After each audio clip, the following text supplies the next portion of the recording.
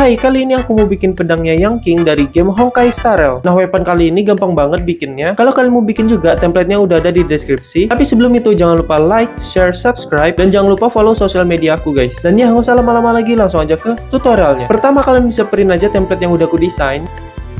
Habis itu potongin pakai pen cutter, sampai ke pisah-pisah kayak gini. Terus kalian bisa ambil bagian yang ini, dan di sini kalian bisa lihat ada huruf A ketemu A, B ketemu B kayak gini. Itu kalian bisa sambungin aja pakai solasi guys.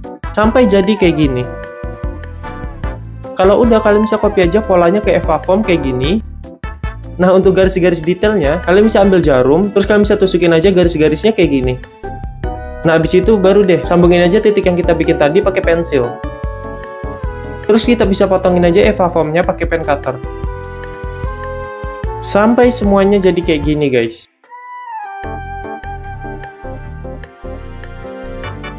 Untuk bagian yang ini kita bisa potongin aja bagian tengahnya untuk ditaruh besi nantinya. Habis itu kalian bisa olesin aja pakai lem kuning. Terus ditempelin kayak gini. Sampai jadi kayak gini. Kalau udah ketempel, jangan lupa garis yang ini dipotongin lagi guys.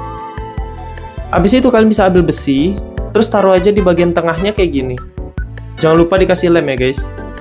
Nah, terakhir baru dia tutupin aja pakai bagian yang ini. Sampai jadi kayak gini. Sekarang kita bisa tempelin aja detail-detail kecilnya yang ini.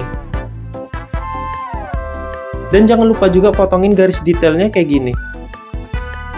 Habis itu panesin aja pakai heat gun untuk ngebuka garis yang kita bikin tadi sampai jadi kayak gini. Sekarang kalian bisa warnain aja seluruh permukaannya pakai warna putih Terus tinggal warnain aja sesuai dengan warna weaponnya kayak gini. Dan itulah cara aku ngebikin pedangnya Yang King dari game Honkai Star Rail. Gampang banget kan? Kalau kalian mau bikin juga, templatenya udah ada di deskripsi. Jangan lupa like, share, subscribe, dan follow semua sosial media aku ya guys. Nextnya kalian mau aku bikin apa lagi guys? Komen aja di bawah. Dan ya, udah situ aja. Bye!